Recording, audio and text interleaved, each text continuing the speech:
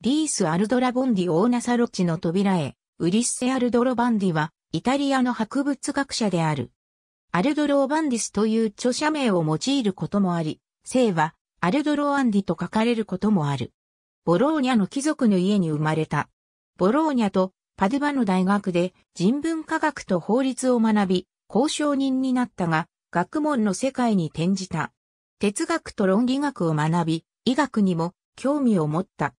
1553年に医学と哲学の学位を得て、1554年からボローニャ大学の論理学と哲学を教え始め、1559年に哲学の教授、1561年に新しく設けられた博物学の教授職に就いた。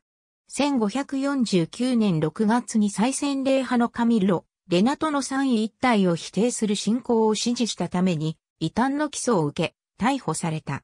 9月に釈明と指示の撤回を発表したが、ローマに送られ、1550年4月に免除されるまで交流、自宅軟禁されることになった。この間、地元の学者の仕事を助けた。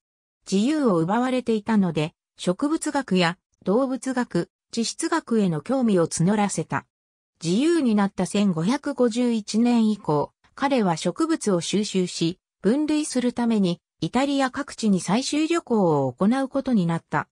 1551年から1554年の間に何度か行った採集隊による採集旅行は16巻の4112用からなる4760の植物の感想標本を残し、これはボローニャ大学に保存されている。ヤコポリコッツィ、ジョバンニネリ、コルネリオ・シュビントラの画家を伴い図を描かせた。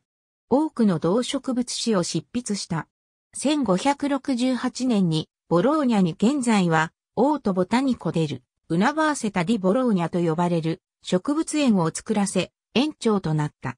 1575年にボローニャの医師、薬剤師と薬の成分に関する紛争を起こし、公職から5年間追放された。1577年には母親のいとこであるローマ教皇グレゴリウス13世に公職への復帰と著作の出版の費用を依頼する手紙を書いている。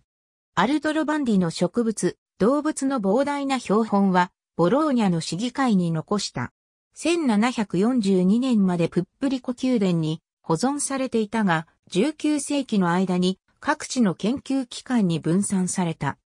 1907年に大部分がプップリコ宮殿に集められ、2005年にはプップリコ宮殿でアルドロバンディの没後400周年を記念する展覧会が開催された。